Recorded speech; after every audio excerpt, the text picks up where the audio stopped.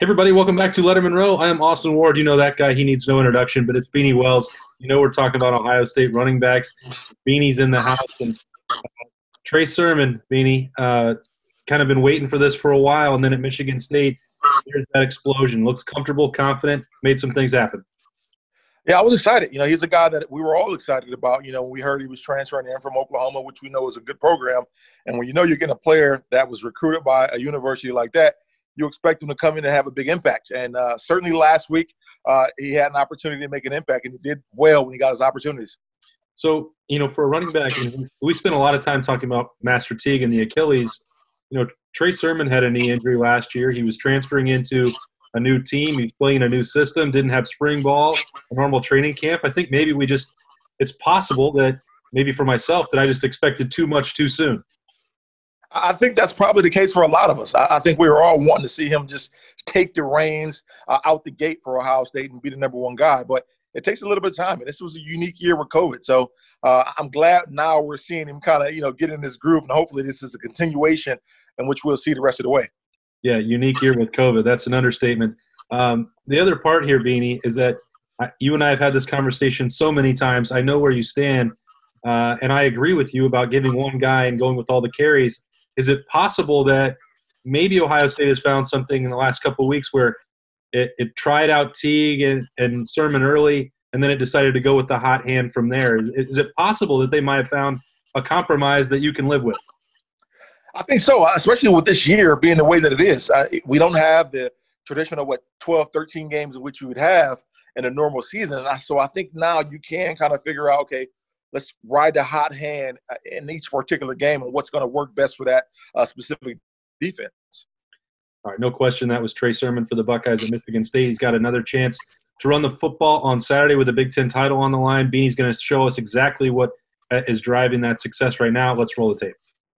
All right, Beanie. So you look at this. He only still finished in this game, Trey Sermon, with 10 carries, but he certainly made the most of it. And he was just, he was really running hard from start to finish. You could tell he was ready to, to really make an impact. Certainly, he was running behind his pads and he ran with a purpose, man. This is one of those runs right here that exemplifies him running with a purpose and him reading the blocks exceptionally well, and then allowing his athletic ability to be able to take over. I mean, he can be a slasher and a home run hitter. And right here, you see a glimpse. I know it's only a five yard run, but you certainly see a glimpse right there of that slashing ability.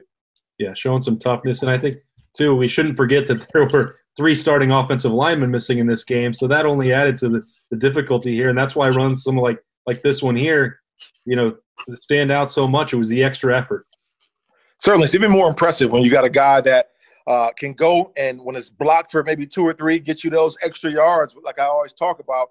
And here you got guys that are out and him still making big plays. Here he makes a guy miss, gets to the second level, doesn't let the arm tackles bring him down. That's something that's critical if you're going to be a very good running back. You can't get stopped by arm tackles. You have to finish runs, and here certainly he does a good job finishing. That's this was the run, and I, I couldn't believe that he didn't score Beanie, but this was the run where I was like, okay, that's the Trey Sermon that I was expecting. This is the one that you and I had talked about in the offseason, why he could be so effective in that backfield alongside Justin Fields. Certainly, he's a slasher. He's a, a dynamic guy, and I think the more carries, the more opportunity he has, uh, the better off he'd be. It's just unfortunate right now we're in a situation with a shortened season to where he can't get fully comfortable and grasp the offense and get the gelling down with the offensive line. This looks like one of those jukes that they might have just motion captured this one and just put it straight into Madden. I mean, it doesn't. It real.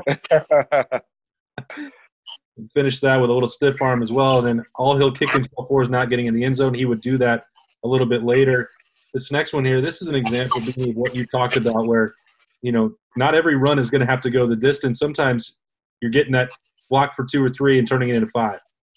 Yeah, I mean, you want to see running backs get behind their pads and not just try to create the big play and hit the home run all the time. And here you see Trey Sermon understands the circumstances, knows that, you know what, there's nothing there for me to bounce outside. Let me get behind my shoulder pads and go get those tough yards. I love that out of a runner.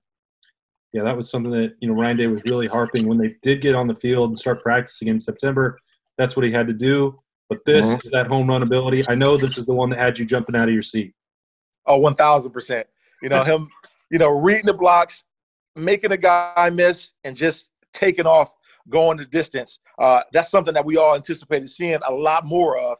And hopefully, like I keep saying, we can see that continuing on in the Big Ten championship and, and certainly in that college football playoff if we're fortunate enough to get there.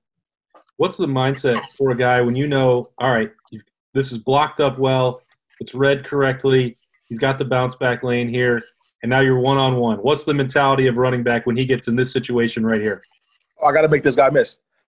There's absolutely no reason why, as a running back, I'm not making a defensive back miss, whether that's running over him or juking him. Somehow or another, I got to get past this guy. And then finished off here with that. How about the quarterback running down to help him out? Oh man, you love that extra effort out of a QB. You know, wanting to just get his nose dirty a little bit there. and he almost beats him to the end zone on the way. Beanie Trey Sermon, he's rolling. The Buckeyes are rolling too. They're heading to Indianapolis on Saturday to play Northwestern, getting the college football playoff. I know you're excited to see what Trey Sermon and Master Teague can do in a game that you know you win championships with a running game. Absolutely. Uh, I can't wait for it. Um, Northwestern is a good football team. Um, I'm anxious to see how we fare. All right, Beanie, I'll let you go. We know we got the podcast coming up this week with Beanie and Cardale. Appreciate your insights as always on Lettermen Row with BuckIQ. For Beanie, I'm Austin Ward. We'll see you next time.